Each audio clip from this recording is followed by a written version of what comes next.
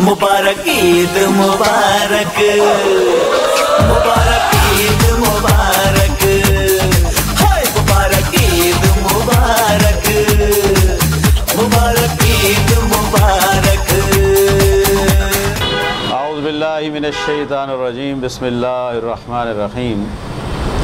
ان آتینک الکوثر فصل لربک وانحر.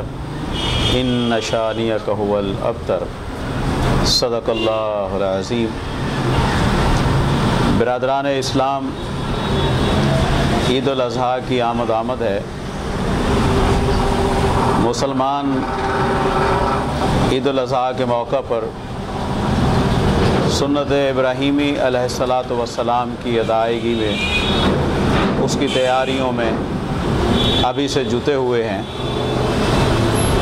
جناب ابراہیم علیہ السلام اور قربانی کا یہ عمل اپنے پیچھے جو پس منظر رکھتا ہے، وہ یہ کہ ہمیں اپنی محبوب سے محبوب چیز کو بھی اللہ کے راستے میں قربان کرنا چاہیے۔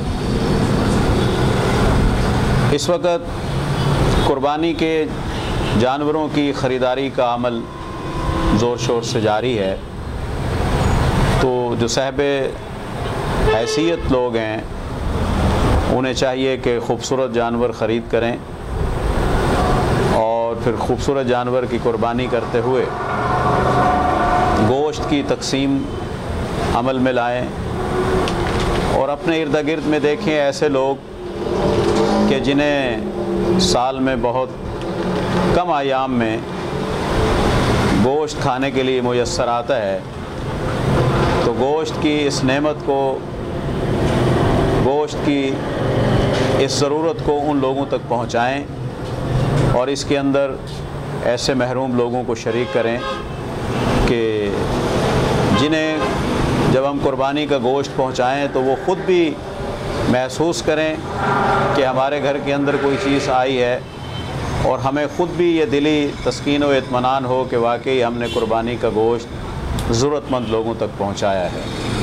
تو قربانی کہ اس عمل کے اندر خالصتاً اللہ کی رضا کے لیے اخلاص نیت کے ساتھ ہمیں شریک ہونا چاہیے اور ہمارے پیش نظر یہ ہونا چاہیے کہ ہم سنت ابراہیمی اس لیے ادا کر رہے ہیں کہ اس کے اندر اللہ کی مرضی، منشا اور رضا پوشیدہ ہے۔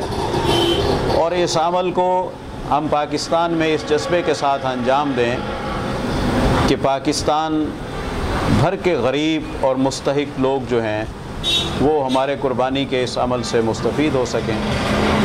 اور اسی طرح قربانی کے جانور کی جو کھال ہے، وہ ہمیں ایسے اداروں تک، ایسے افراد تک پہنچانی چاہیے کہ جو واقعتاً ملک کی تعمیر و ترقی کے اندر اپنا کردار ادا کرتے ہیں۔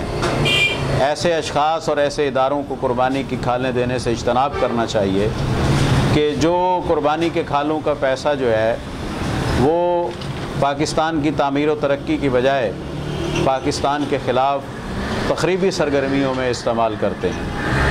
اور اس کے ساتھ ساتھ قربانی کے اس موقع پر ہمیں حقیقت کے اندر، اپنے اندر وہ جذبہ پیدا کرنا چاہیے کہ جو دوسروں کے لیے قربانی دینے کا جذبہ ہو۔ اور آج جو پاکستان کے حالات ہیں، جن مسائل سے ہمارا ملک دو چار ہے، جب تک ہر فرد اپنی حیثیت کے مطابق اپنے جان کی، مال کی وقت کی اور بالخصوص اپنے اسٹیٹس اور اپنے انا کی قربانی نہیں دے گا، تو ملک کی ترقی کا اور قوم کی ترقی کا یہ عمل جو ہے پایا تکمیل کو نہیں پہنچ سکے گا۔